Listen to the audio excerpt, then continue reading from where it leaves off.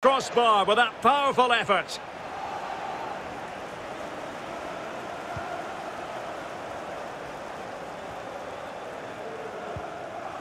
Bruno Guimaraes.